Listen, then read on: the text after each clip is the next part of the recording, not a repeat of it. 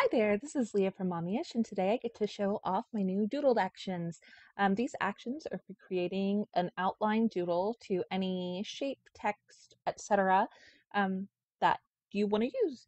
So I'm going to start off by showing you how to yawn.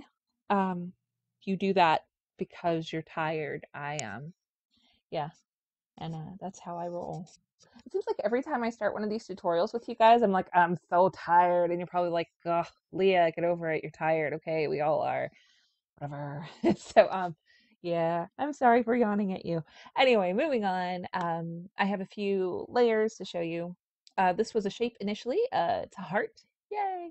Um, whenever you get started with whatever shape you're using, you're going to make sure that you simplify it in PSE or rasterize it in CS. So um, just rasterize layer. I've already done it because, you know, that's how I roll. And um, then you just choose the doodle action that you want. You can see that there's six um, smalls and larges. Larges is more if you're using or creating an element or border that is a larger area um, small is for obviously smaller things. so, and then there's different versions of each. So I'm going to go ahead and get started. Um, we're going to doodle small. First thing you're going to do is choose your foreground color and then your brush. You're going to do this no matter if you're in PSE or CS. So um, load your brushes. There are two and uh, you can see here's one, two. You can also use any of your own brushes. If I were you, I would keep my uh, my pixel size between two pixels and maybe eight. Um, but you really can do whatever you want. Yeah, whatever. Trial and error, right? That's what's most fun. All right, so I'm going to use the four brush and I'm going to do doodled small one. So I'm just going to hit play. And it told me, it's like the reminder, make sure you have your foreground color, the color you want it to be, and the brush picked. And you're like, okay, I, I know already, geez. And then you go. So it's running and it's almost done, almost done, almost done. Ta-da!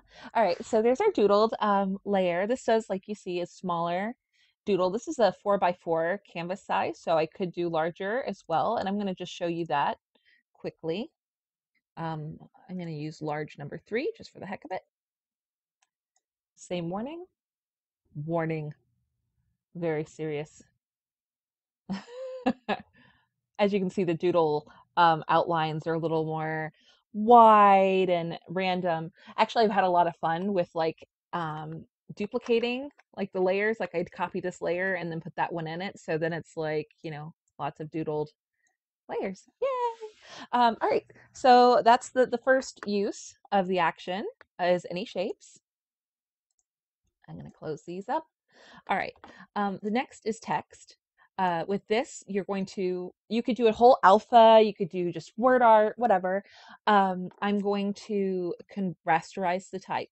That's your first step. Always simplify slash rasterize. All right. And um, for this, I'm going to do small. Uh, I'm going to pick small too, I think. So I'm just going to hit play. Uh, but you know what? I'm going to make, I'm going to make it a color for fun. Let's see. I have all these happy colors up here. I like that one. That one's cool. All right, here we go. And play. Yes, I know already, Leah. Gosh. but uh it's fun. I just I really think this is a fun fun action. So there you are. You have an outlined a doodled outline um piece of uh word art just like that. It's so fast. Um look at me. I'm like I'm like a, a used car salesman. Like, yes, do it. You want to. All right. Now, this is an example for all of my pocket um, friends because I love you guys and I love pocket scrapping myself. Um, so, what you would do, let's say you had a template open. What I would do is I would take all of my layers, and if they have any kind of style on them, like a drop shadow, just turn off your um, turn off your layers uh, effects duplicate your layers. You might actually want to do that after you duplicate your layers. And then merge that duplicated stuff together. So there we go. So that we have this duplicated layer for us. And then I'm going to choose doodled small three. I'm going to choose black. And let's see how this goes. I didn't I didn't test this one in advance, so if it goes really poorly, I'm going to be embarrassed. So uh, Let's hope it goes well. This is probably going to take a little longer because it is a larger area. Um, but either way, it, should work. there we go. Yay! All right, so if I zoom in here, you can see that you have little doodled lines like that. And what I would do is I would just copy that. I would get rid of this. and here's my original layers here and paste it into our um, document. So then now I have a template, a pocket template with little doodled outline, right? That's cool. Um, so yeah, it's really fast and you can use it pretty much on any single one that you want to do. Why not?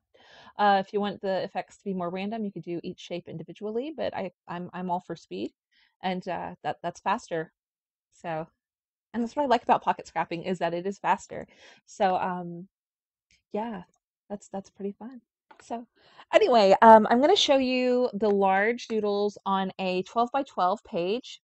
All right, so this is going to be 3600 pixels, like that. Um, I'm just going to put a white background because I'm going to have to copy and paste it. Again, every time you run the action, it is going to open it up in a new window. I do this just in case for you guys, um, so it's not overwriting anything on your original file, uh, so you don't have to worry initially about renaming things. it, it is for ease of use um, for you guys, so hopefully, hopefully that's uh, a feature that you like. You can always uh, edit that off, at least if you're using CS. So um, here we go. We have our our square shape and let's make sure that it's right in the center like that I'm sure there's an easier way. I there's so many things I don't know about Photoshop. Sometimes I feel really embarrassed. Like I'm like I'm sure someone's watching this and is just like what are you doing? Anyway again first thing we do we rasterize our layer slash simplify. All right, I'm going to use Doodle Large 1, and I'm going to be using the color black. And just hit play. Continue. This one shouldn't take too, too long, um, too terribly long, I don't think. But there you go. it's so cool. All right. I feel like I'm patting myself on the back. I'll probably think I'm so pretentious. I'm really not. I swear I'm not. But here we are. This is like a 12 by 12 doodled border. I think it's pretty fun. Yay. I've actually had a lot of fun using the doodle actions and I've also like I combine things. So I might use a doodle action and then I uh I'm like, okay, well I want it to look a little rough. So then I would use the stamp actions on that. So then it'll give it like a a really like a distressed sort of look. Um there's just so much you can do. There's so much you can do. It's so much fun. I just imagine like all the patterns you could make and and whatnot. It uh as a designer and even just as a scrapper, I don't know, I think it's a, a fun utility sort of um sort of action set. So hopefully you guys like it.